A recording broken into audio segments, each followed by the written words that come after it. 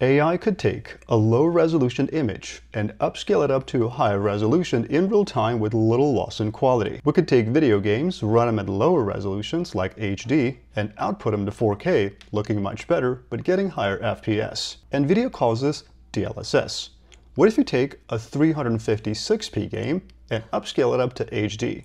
That's the question we're trying to answer today. It's a packed video, so enjoy. For the purposes of this experiment, we're going to run Cyberpunk 2077 on an OLED 480Hz display by ASUS. The entire PC has been built exclusively on ASUS parts, and we're using an ASUS RTX 5080 GPU. The game is currently running at 1440p, and this is what it looks like. No ray tracing, no DLSS frame generation, no DLSS upscaling.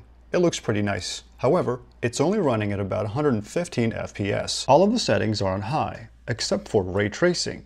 Now I'm going to enable resolution scaling, and I'm going to set it to ultra performance. The ultra performance preset reduces your render resolution to 33%. This way, if I bring down my render resolution from 1440p to 1080p, I'm effectively rendering at 634 by 356. Now the moment of truth. This is what the game looks like at 356p. We are currently running at about 226 FPS.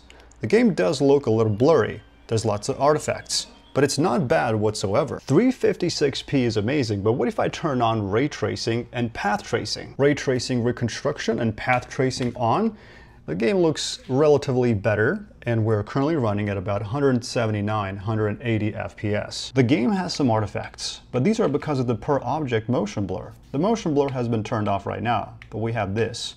But look what happens when I increase the resolution to 1440p. This is 356p, and this is 1440p.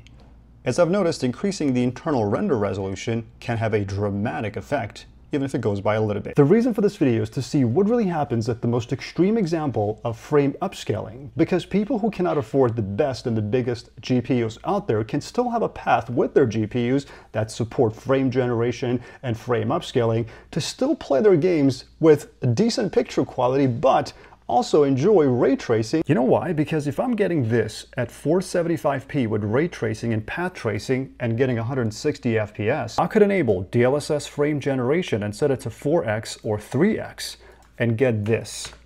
This is what the game looks like at that resolution and we're currently getting about 400 FPS and rendering at native 101. But this is nothing compared to turning on DLSS frame generation and trying other games. If you want to see more, comment your favorite game or DLSS 4, and if we get enough, I'll cover that in the next video.